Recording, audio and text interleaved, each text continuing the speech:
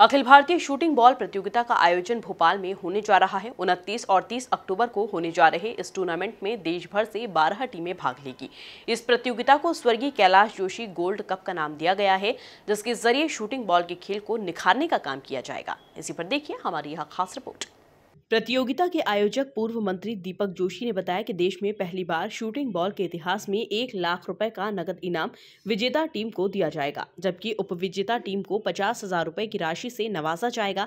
इसके साथ ही अंतर्राष्ट्रीय खिलाड़ी और विक्रम अवार्ड प्राप्त खिलाड़ियों व प्रशिक्षकों को ग्यारह ग्यारह हज़ार की राशि से सम्मानित भी किया जाएगा। नहीं, पहला पुरस्कार एक लाख रुपए है, दूसरा पुरस्कार पचास हज़ार रूपए है, तीसरा पुरस्कार पच्चीस हज़ार बारह बारह टीमें। नहीं, किसी की सहायता नहीं हम दोनों समितियों के माध्यम से और हमारे मित्रों के सहयोग से हम लोग करते संस्था के पास संस्था के पास उसका पैसा है, जो एफडी के रूप में, बाकी हमारी मेंबर ईयरली मेंबरशिप और हम कंट्रीब्यूशन करते हैं। वो होता है साकेत खेल समिति में जो शर्मा जी है, इनके साथ बाकी, बहुत सारे खेल खिलाड़ी जुटे, जुड़े हुए हैं।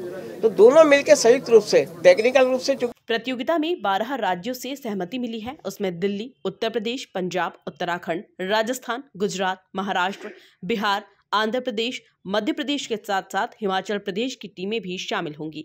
यह प्रतियोगिता लीग कम नॉकआउट आधार पर खेली जा रही है। जो टीम लीग में जीतेगी, वो प्रतियोगिता का सेमीफाइनल व फाइनल खेलेगी। Bureau report, MP news, Bhopal.